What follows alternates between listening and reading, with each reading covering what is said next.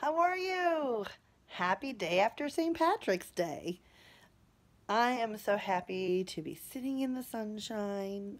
My heart is full of gratitude and just a peaceful moment. Cat's on my lap. Just got done with a phone call. And you and my change maker mastermind folks are on my mind. I wanted to to send a quick note and I thought, what better way to do than a quick little message by video? Yes, it has been a very busy month. Has it been for you? There have been very stressful times, and there's been some real good product progress that I've been making. Um, we've been working towards getting our taxes going, so that's a win. Not quite there, but the baby steps are happening. We've got our taxes file, uh, our receipts sorted for the couple of years that we're behind and I'm starting the spreadsheets and getting all the expenses added up and things like that. So we are on our way, baby step by baby step. And there's some other projects we're making progress on. We've had a few crop up. Have you had some life emergencies or changes happening? We had a few with some kids and changes in school and changes in their in their their schedule and what they can accomplish. Long story short, we're going through a whole big review process on that end with one of my kids, trying to get ready for seeing what kinds of uh, school services and help they can get. Um, it's a big project too. So new projects have come on my plate this month.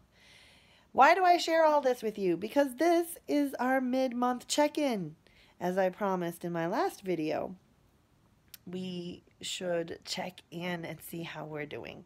So I invite you as an accountability measure to send me a note, send me a video if you feel like, something to check in so that we can say, where were we at the beginning of the month? How are we doing? Are you on track? Where have you had some changes? Just like I shared, we've had some new things crop up that probably happened for you too. Have you had to pivot? Maybe your priorities had to change. So, where are we going to be at the end of the month is the next question. And that's what the mid month check in is for. Are you on track with your goals for this month? What baby steps do you need to take? What new things do you need to do?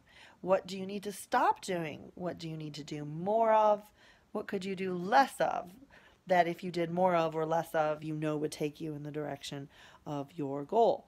So, when we check in again at the end of the month, we will be able to hold each other accountable for the things we are progressing towards with the alignment of our vision towards that wonderful day at the end of 2021, we can look back and say, these are all the things that not just got done for the sake of doing, but actually made a difference in making life better, happier, more successful, more fulfilling, more rich and rewarding. What are the things that matter most to you? And the things that just have to be done so that we can be more financially secure or productive or the, the goals and the values that you have be in alignment with your vision. So thanks for checking in. Happy belated St. Patrick's Day. Remember, the only kind of luck that you is the luck you can create for yourself. And that's by being a change maker, taking the action in the way you know how and activating the process of becoming your best version. Drop me a line. I really look forward to hearing from you. And maybe if you want to call or set up a time, we can have a one to one conversation and you can hear all the latest in a private conversation. Thanks so much. Check in, and I'll see you at the end of the month.